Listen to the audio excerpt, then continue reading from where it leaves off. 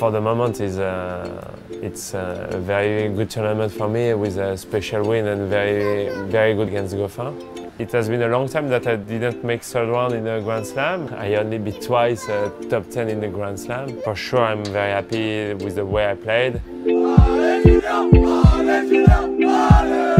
A lot of things making this Grand Slam special. It's the first of the year. Some surprises can, can come here because uh, some players are not maybe ready.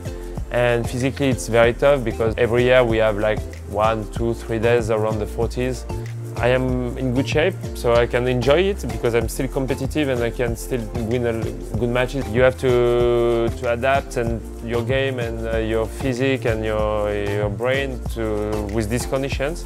For us, European, it's always a pleasure to come at this moment of the year. Here down under, this is a summer. Uh, we can feel it, we can uh, see it in the streets, in the, in the stadium. People are uh, in vacation, this is the big holidays for them. All of this makes this, uh, these events very special.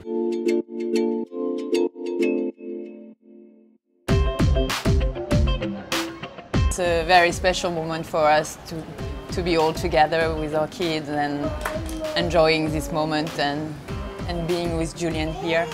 It's uh, so much pleasure and only happiness with him and with Karen. He just wants me to, to win, but he thinks that uh, every time I play a match, I can win a cup. So he say, did you win the cup? Did you win the cup? Did you win the trophy? The trophy? I told him, no, not always.